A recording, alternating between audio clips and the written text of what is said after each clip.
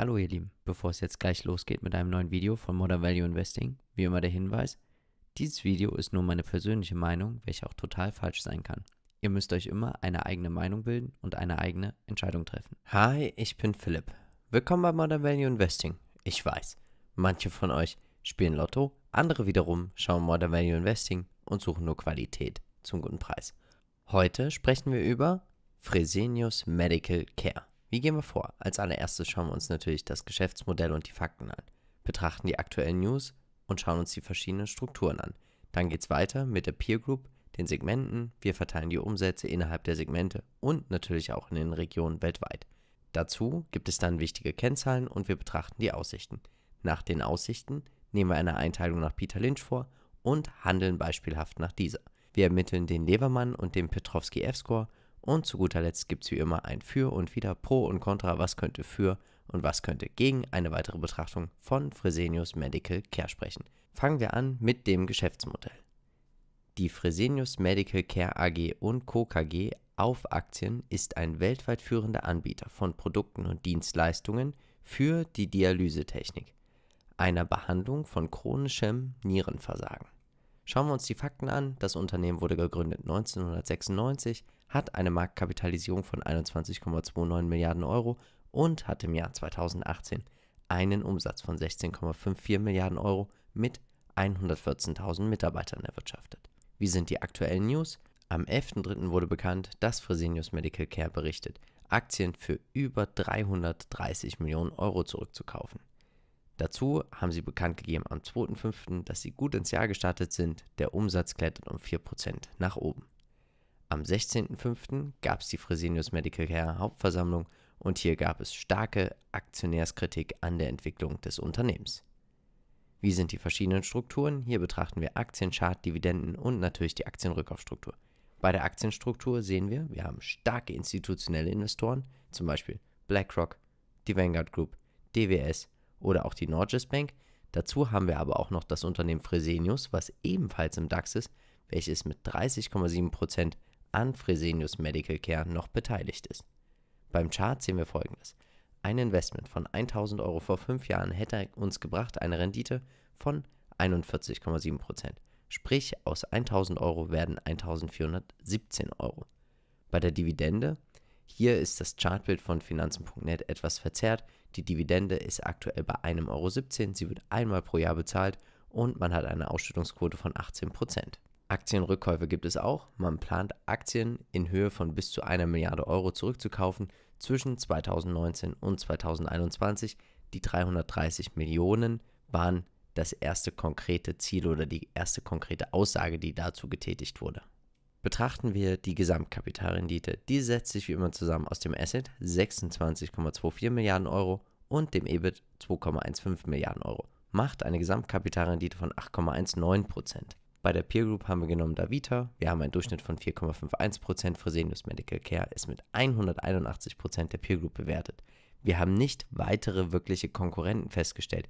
Habt ihr noch welche? Kennt ihr noch welche? Schreibt uns das in die Kommentare, weil dann könnte man vielleicht auch beim nächsten Update den Durchschnitt mal anpassen. Weiter geht's mit den Segmenten, in denen Fresenius Medical Care tätig ist. Fresenius Medical Care berichtet in Segmenten, die regional sind. Einmal berichten sie North America Segment, also Nordamerika, dann EMEA, Europe and Middle East, Asia Pacific, der asiatisch-pazifische Bereich und das Lateinamerika-Segment in Latin America. Jetzt schauen wir uns an, wo die Umsätze erzielt werden und da sehen wir, 72,4% der Umsätze werden in Nordamerika erzielt, Europe und Middle East macht 14,3%, Asia Pacific 9,1% und Latin America 4%. Verteilt auf die Welt kann man sozusagen nochmal sagen, 72,4% Nordamerika, 25,1% Rest der Welt und Deutschland 2,4%. Jetzt tauchen wir natürlich nochmal ein in die einzelnen Segmente. Das Segment Nordamerika konnte leider den Umsatz nicht halten. Der Umsatz ging zurück von 12,88 Milliarden Euro auf 11,57 Milliarden Euro. Der Gewinn konnte aber ausgebaut werden von 2,09 Milliarden Euro auf 2,67 Milliarden Euro. Das Segment Europe und Middle East konnte den Umsatz von 2,55 Milliarden Euro auf 2,59 Milliarden Euro steigern. Dafür war aber der Gewinn rückläufig von 0,44 auf 0,4 Milliarden Euro. Das Segment Asia Pacific konnte den Umsatz steigern. Von 1,62 Milliarden Euro ging es hoch auf 1,69 Milliarden Euro. Der Gewinn konnte leider nicht Schritt halten. Er ging zurück von 0,31 Milliarden Euro auf 0,3 Milliarden Euro. Das Segment Lateinamerika konnte auch den Umsatz und auch den Gewinn nicht halten. Beim Umsatz haben wir einen Rückgang von 0,72 Milliarden Euro auf 0,69 Milliarden Euro. Der Gewinn ging zurück von 0,06 Milliarden Euro auf 0,03 Milliarden Euro. Insgesamt sehen wir folgendes: 97% der Gewinne wurden im Jahr 2018 im Segment North America erwirtschaftet. 12% hat Europe and Middle East gemacht, 9% Asia Pacific und nur 1% Lateinamerika. Jetzt schauen wir uns wichtige Kennzahlen an. Hier betrachten wir die operative Marge, den Free Cashflow, den Buchwert, die Zinslast, die Dividende und das KGV sowie die Aktienanzahl. Bei der operativen Marge sehen wir, wir hatten ein Low im Jahr 2017 mit 12,9%, ein High im Jahr 2011 mit 15,9%. Die Schwankung liegt bei 18,86% bei einer durchschnittlichen operativen Marge von 14,6%. Der Free Cashflow liegt aktuell bei 1 Milliarde Euro, im Durchschnitt bei 0,88 Milliarden Euro. Der Buchwert konnte ausgebaut werden. Im Jahr 2009 lag der Buchwert bei 23,05 Euro. Im Jahr 2018 war er schon bei 41,81 Euro. Wir haben einen Durchschnitt vom Buchwert von 27,68 Euro. Wie sind eigentlich die Zinsaufwendungen? Und da sehen wir, diese haben sich erhöht. Im Jahr 2014 waren wir noch bei 407, im Jahr 2018 schon bei 448, bei einem Durchschnitt von 429,4. Bei der Dividende und dem KGV sehen wir folgendes. Die Dividende hat einen Schnitt von 91 Cent. Für das Jahr 2018 hat man schon eine Dividende von 1,17 Euro erhalten.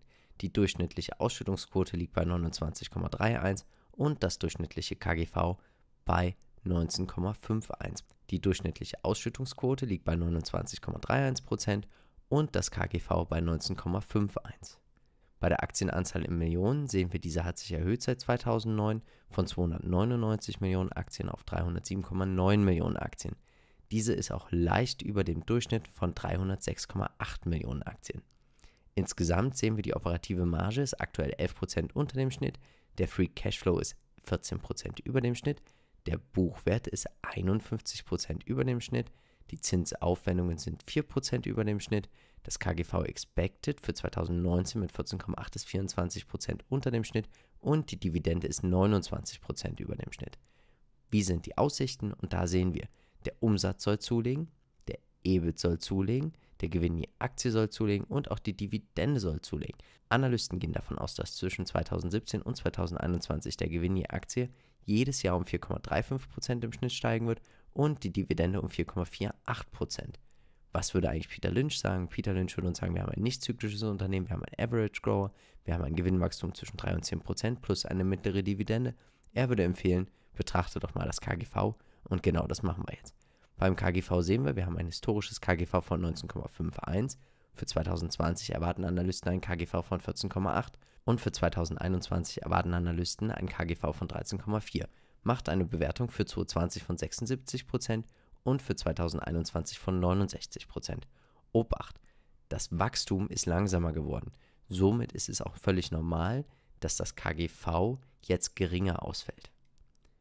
Wie hoch ist eigentlich der Levermann-Score? Und da sehen wir wie immer als allererstes haben wir ein Small, Mid oder Large Cap. Mit einer Marktkapitalisierung von 21,29 Milliarden Euro haben wir ein Large Cap. Dazu gibt es eine Eigenkapitalrendite von 15,36%, 0 Punkte. Die EBIT-Marge liegt bei 14,12%, ein Punkt. Die Eigenkapitalquote liegt bei 49,17%, ein Punkt. Das KGV der letzten drei plus das erwartete KGV der nächsten zwei Jahre im Durchschnitt liegt bei 14,91, das bedeutet 0 Punkte. Das KGV fürs aktuelle Jahr liegt bei 17 minus 1 Punkt. Analysten raten mehrheitlich zum Kauf minus 1 Punkt. Die Reaktion auf die Quartalszahlen 3,71% ging es nach oben, 1 Punkt. Die Gewinnrevision gab es 0,46% nach oben, 0 Punkte. Der Kursverlauf der letzten 6 Monate minus 2,9%, 0 Punkte. Der Kursverlauf der letzten 12 Monate minus 21,3%, minus 1 Punkt. Punkt Nummer 11, haben wir eine Trendumkehr? Nein, haben wir nicht, 0 Punkte. Punkt Nummer 12, verglichen mit dem Index haben wir mal besser, mal schlechter abgeschnitten, das bedeutet 0 Punkte. Punkt Nummer 13, Das Gewinnwachstum fürs nächste Jahr, hier rechnen Analysten mit 12,4%, ein Punkt. Summa summarum haben wir einen Punkt nach Susan Nevermann, was bedeuten könnte verkaufen. Jetzt betrachten wir, wie hoch ist eigentlich der Petrovski F-Score. Dieser betrachtet Profitabilität, Finanzierung und die operative Effizienz von Fresenius Medical Care. Steigen wir direkt ein. Haben wir einen positiven Jahresüberschuss? Ja, das haben wir einen Punkt. Haben wir einen positiven Cashflow? Ja, das haben wir auch einen Punkt. Ist die Gesamtkapitalrendite höher als im Vorjahr? Ja, das ist sie ein Punkt. Ist der Cashflow größer als der Jahresüberschuss? Nein, ist er nicht. Null Punkte. Ist der Verschuldungsgrad gegenüber dem Vorjahr verringert worden? Ja, das ist der ein Punkt. Ist die Liquidität dritten Grades höher als im Vorjahr? Ja, das ist sie ein Punkt. Ist die Anzahl der Aktien nicht höher als im Vorjahr? Nein, ist sie nicht ein Punkt. Ist die Rohmarge höher als im Vorjahr? Ja, das ist sie ein Punkt. Ist der Kapitalumschlag höher als im Vorjahr? Nein, ist er nicht. Null Punkte. Summa summarum haben wir sieben von neun möglichen Punkten nach dem Petrovski F-Score.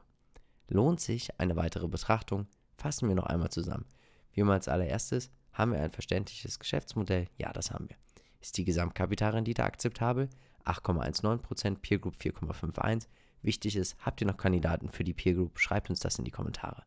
Haben wir eine Übersicht über die Segmente, in denen das Unternehmen Geld verdient? Ja, das haben wir. Nach Peter Lynch haben wir einen Average Grower. Das KGV könnte bewertet sein mit 76% für 2020 und mit 69% für 2021. Der Levermann Score liegt bei einem Punkt, was bedeuten könnte verkaufen, und der Petrovski F-Score liegt bei 7 von 9 möglichen Punkten. Jetzt habe ich für dich drei Punkte, die für eine weitere Betrachtung von Fresenius Medical Care sprechen können. Punkt Nummer 1, wir haben eine starke Entwicklung, wir haben starkes Wachstum in den vergangenen Jahren gehabt. Dazu, der Petrovski F-Score erreicht 7 von 9 möglichen Punkten und die Gesamtkapitalrendite könnte bei akzeptablen 8,19% liegen. Zwei Punkte, die gegen eine weitere Betrachtung sprechen könnten. Punkt Nummer 1, der Levermann-Score liegt leider nur bei einem Punkt, was bedeuten könnte verkaufen und das Wachstum flacht ab. Jetzt interessiert mich natürlich wie immer deine Meinung. Was denkst du über Fresenius Medical Care? Schreib uns das doch in die Kommentare. Wenn du links klickst, siehst du nochmal unsere Unternehmensvorstellung zu Fresenius und in der Mitte gibt es nochmal unseren Bericht zur Hauptversammlung von Fresenius im Jahr 2019. Denk immer daran, wir von Modern Value Investing sind überzeugt, es gibt immer und irgendwann einen Bullenmarkt. Wir werden versuchen, diesen zu finden und in diesen zu investieren. Also bleib dabei bei Modern Value Investing. Ciao.